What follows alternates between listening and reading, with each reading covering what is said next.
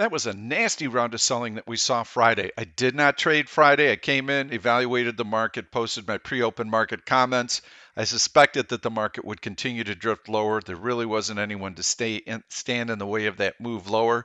Not surprised that we closed on the low of the day. You can see horizontal support here was breached. We almost closed on the low of the day. This is the major support level that I'm looking at, right at that 452 level on the SPY. That's where the 50-day moving average comes into play. That's also horizontal was resistance, breakout, now support. I believe that support level is going to hold if we even get that low. I'd mentioned in my comments Friday, don't panic if you got caught. Wait for normal market conditions. We should see a bounce on Monday. We're seeing the overnight futures up about 25 points or so. Does this mean it's an all clear? No.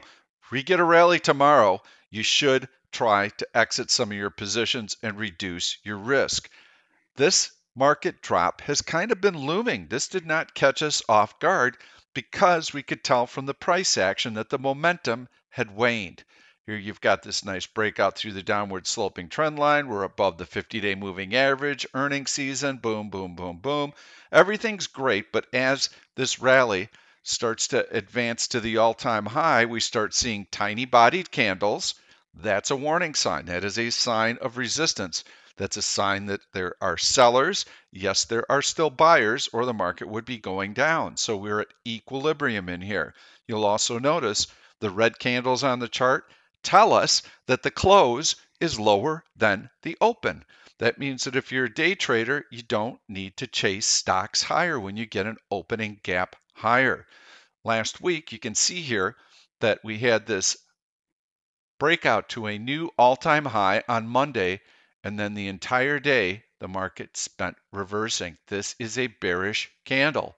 So we spend a couple of di- days moving sideways. We had the FOMC minutes on Wednesday, which I thought were fairly hawkish. And then Friday morning, we get this big drop. I feel that the drop may have partly been caused by the new variant of the coronavirus and the implications that travel stocks could get hit and it could have an economic impact. But I think that was an overreaction. There really wasn't anyone to stand in the way of the selling pressure. No one was out there bidding aggressively for stocks because it was a holiday shortened day. You can see that we did get a volume spike here. Selling was hard. Market closed on its low of the day. Where do we go from here? Now what? Monday morning, we're going to get a 25 point rally in the S&P. What else can we expect to happen? Well, I believe that we are not going to see a decent market rally until the downside is tested again. How far might we drop? Could just come back down to the low of the day from Friday, or we could come down and test that 452 level. If we're down here, we're not going to be down here very long.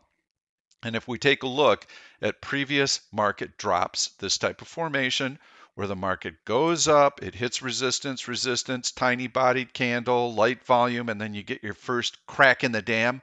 What happens after you get that first crack in the dam? Do we get any follow through selling? That's what we need to go back and check. So if we go back to the chart, breakout to a new high, tiny bodied candles, low volume, first signs of trouble. Yes, there's follow through selling. Okay, so we can expect maybe a little bit of follow through selling based on that.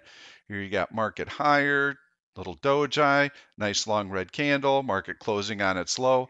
Now here you get a gap way down below that close and a rally back. But yes, we did go lower than that previous close. Here we've got that long red candle after a new relative high. Look at that gap down the next day. Let's go back a little bit further and see if we can find other examples. Yes, here we go.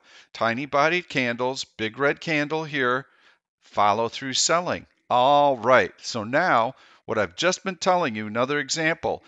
Big red candle off a relative high, follow through selling. So, yes, we can expect some follow through selling to take place this week. Down maybe to that 452 level. I hope so because I think that's going to be a good level for us to go in, sell some out of the money bullish put spreads. Look for those really, really strong stocks. Does that mean that Monday on this 25 point opening gap higher that I'm going to be out there aggressively selling out of the money bullish put spreads? Heck, no. I am expecting the market to erase those gains Monday or Tuesday.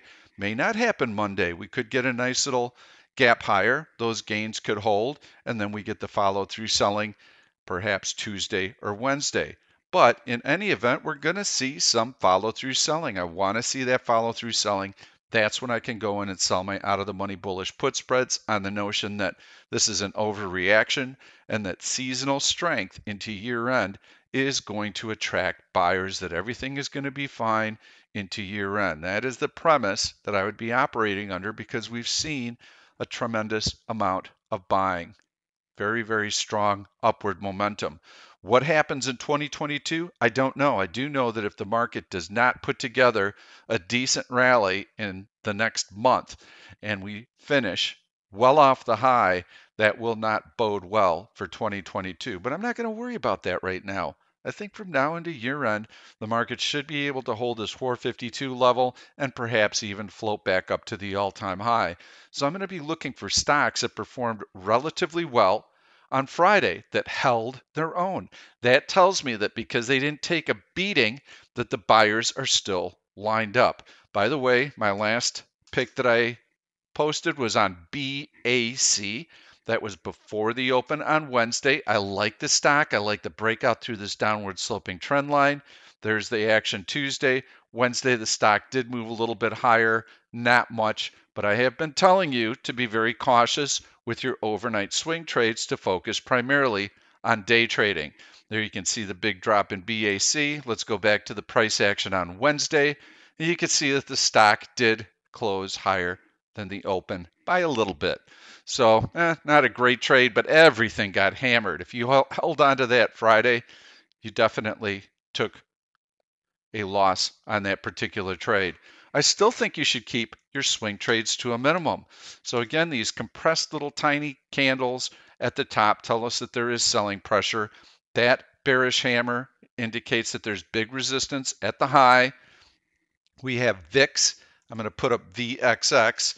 You can see that it is very, very low here, except for the price action on Friday. And that tells me that there's complacency. Nobody is worried about anything bad happening into year end. So option implied volatilities are very, very low. Well, we get these big shock moves when the VIX is low and no one is hedged and no one's expecting a round of bad news. So look for the downside to be tested, perhaps Monday, Tuesday. On that retest, that's when we want to come in, find these strong stocks, sell some out of the money bullish put spreads on them. Why am I not going to buy calls? Pete, the market's strong. How come we're not in there buying calls? Year end rally, Santa Claus rally. There's nothing to suggest that the market is going to be able to challenge the high and continue to go higher. We've got some volatility right now. We've got the FOMC min, uh, meeting coming up in two weeks, December 15th. They're talking about their tapering and possibly outlining what their tightening schedule might be. There's really no reason right now to be more aggressive. Out of the money bullish put spreads give us some breathing room. We can distance ourselves from the action. We can take advantage of accelerated time premium decay. That's about as aggressive as I want to get with my swing trades. Day trades, much more flexibility. There we're watching intraday candles and price movement, we're able to get in and out of positions without too much of a worry. So I'm going to go in, I'm going to look for a swing trade that might set up, and I'm going to go in and create a fairly straightforward search. I'm going to mark on a daily basis, a 4-hour basis, and a 2-hour basis strength versus the S&P 500. So I want stocks that are strong relative to the S&P 500. Stock price greater than prior day's high. Whoa. When the market tanks like that and a stock is able to close above its prior day's high, that means it has to be above Wednesday's high. That is a sign of strength. Plus, we want to have decent option liquidity. I'd also like to make sure that I'm not bottom fishing. I want a, st a stock that's been able to hold up pretty well. So I'm looking for a stock that's above the 100 SMA and above the 200 SMA. Not a long list, a fairly short list, and we're going to knock through this in a matter of seconds. I'll show you stocks I like, ones that I don't like. We'll put a little trading game plan together. Abbott, very choppy, resistance above. Not too excited about this, although you can see the stock did finish above the prior day's high. So that at least is good. ACI, compressing, choppy, probably is going to get through, but you can see this is stiff resistance. It's tried, tried, tried, tried. Each time it has not been able to get through. AFRM. You can see earnings there after the close. The stock has been pulling back a little bit, but these are three nice candles, green candles. Look at that nice candle on Friday. Stock moving higher, challenging that 50 day moving average. I'd like to see it through that 50 day moving average, and then I would be inclined to sell an out of the money bullish put spread keying off of this 120 low right here. So I would sell a 120 put and buy a 115 put, try and do that for a $1 credit and I would try and stay within a three week time period so that I can take advantage of accelerated time premium decay. But I like that price action. It tells me that the stock should perform pretty well come Monday when the market is rallying. I'm going to take a look at the next one, HOLX. Nice little chart here. You can see almost a cup and handle, eh, maybe a double bottom type formation, but horizontal resistance here. Stock has been able to get through that horizontal res resistance and through the 100 day moving average. Yes, it finished higher. This looks pretty decent. I'll have it on my radar. I'll see if there is a day trading opportunity for it. Wouldn't be too interested in this. It's been drifting, drifting lower. KO, excuse me, KDP, too choppy. MDP, no thank you. Netflix, NFLX. Okay, here we've got really nice horizontal support that comes in at the 50 day moving average. 640 is the price right in there. You can see that there's another horizontal support that comes in around this $620 level. Look what the stock has done the last few days, and look what it did on Friday.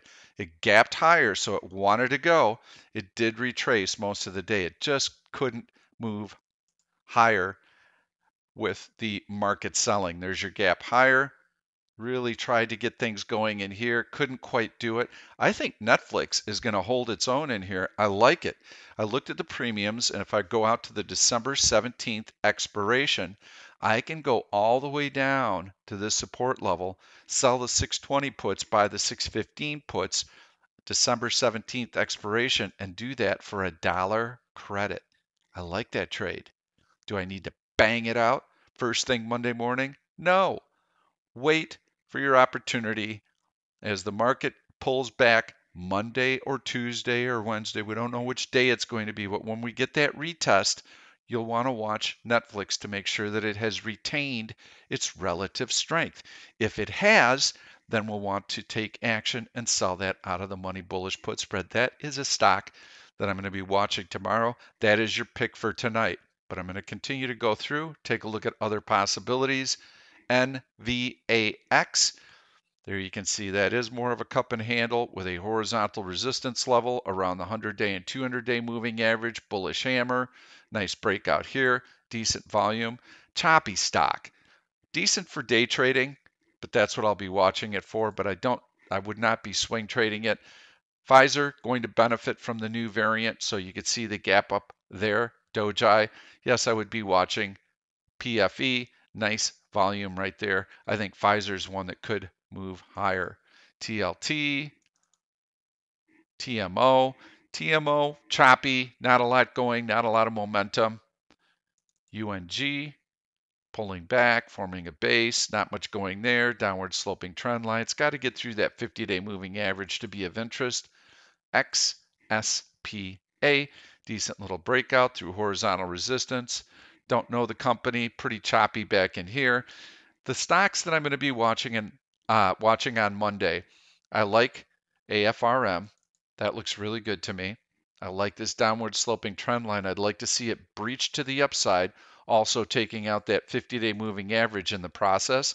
So I'm going to click GTC, going to click on that candle, going to click on that candle. There's my alert line. If the stock can get through this point, then I'm going to be looking to sell a 120, 115 bullish put spread. So I do like that stock out of all of them I've looked at. HOLX looks good to me too. Be looking for a day trading opportunity there. I like this volume. I like the fact that it's been able to move higher. Netflix looks really good. That one I would be doing a 620, 615 bullish put spread. If I really like what I see out of the market and the stock is continuing to grind higher, I might even go with a 640, 635 bullish put spread, pull it in, do a spread that only lasts a week, two weeks at the most, go closer to the money, take advantage of that time decay, try and slip that in before the FOMC meeting in December. That makes sense to me. NVAX, decent little day trader. You can see that panning out nicely. PFE also looks good. See how easy the analysis was? The main thing to keep in mind here is that we're getting into year end. There's very strong seasonal bias. I think that this move here is going to flush out bullish speculators. The market will probe one more time for support, find it somewhere around that 452 level, maybe even a little bit higher. But when we see that support confirmed, it'll come in the form of perhaps a bullish hammer, test the low, finish near the high of the day. Then we know we've got the support that we're looking for. That's when you go in and get a little bit more aggressive with your bullish put spreads. But don't get aggressive overall. Just get the trade done when you see that type of formation. Right now, from a swing trading standpoint, I would be fairly liquid, have very low exposure. Thanks so much for watching. Good luck with your trading. We'll see you tomorrow. Thank you for watching this YouTube video. I'm Pete Stolcers and I'm going to keep the trade ideas coming along with lots of education. So make sure to subscribe to the channel and please turn on your notifications so that you never miss another trade. If you like the content, please give it a thumbs up. I've loaded two other videos that I think you're really going to enjoy. Stay tuned. We'll see you soon.